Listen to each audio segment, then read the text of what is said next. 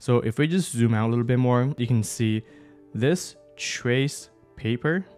If I make it yellow, this layer is what it comes with by default. When you only need to show this much of the floor plan is to create a smaller layer is that so when you're drawing, your line weights are going to be pretty crisp and clear.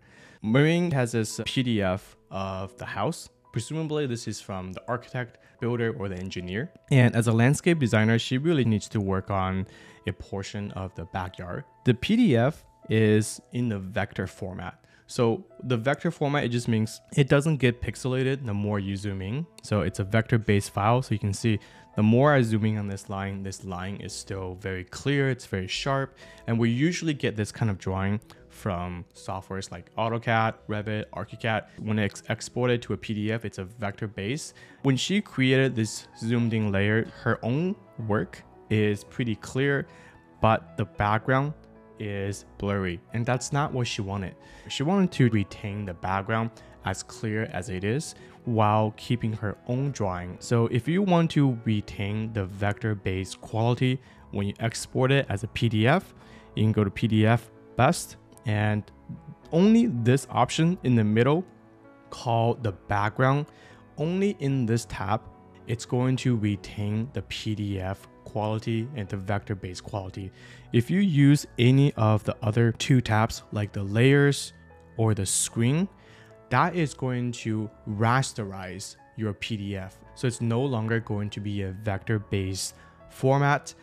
The downside of using this background is this will not allow you to play with the scale or paper size. It's just going to export in the same scale and the PDF size as you import it. This is not what I use where most people would be interested.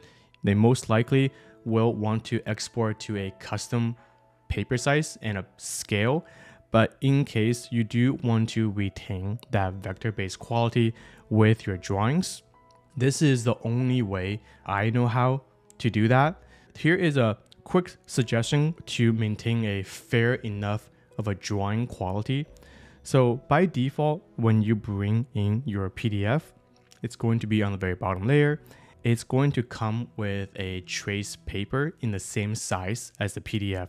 So if we just zoom out a little bit more, you can see this trace paper. If I make it yellow, this layer is what it comes with by default. When you only need to show this much of the floor plan is to create a smaller layer is that so when you're drawing, your line weights are going to be pretty crisp and clear. This extent of the drawing, the bushes right here, is made on this larger trace paper.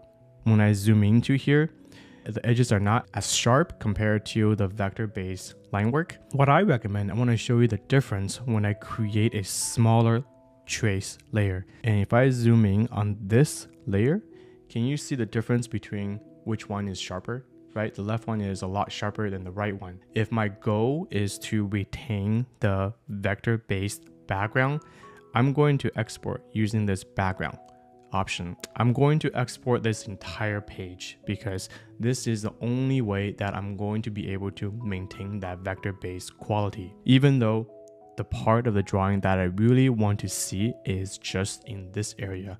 So you can see this new file that I just exported. This is the same extent of her original background. And when you zoom in, what you'll see here is all these CAD layers before, they're still high quality, which means they were exported as vector based, which is what we wanted, except she didn't need this entire page. So now we're at a point where we have sharp background, the CAD background, we have ideal line weight, but we have a much larger drawing that we don't need to. The solution in here is to crop it in this view. You can do that in, in InDesign. You can zoom in InDesign to get it to a place where it is the crop size or the view extent that you want while maintaining this background.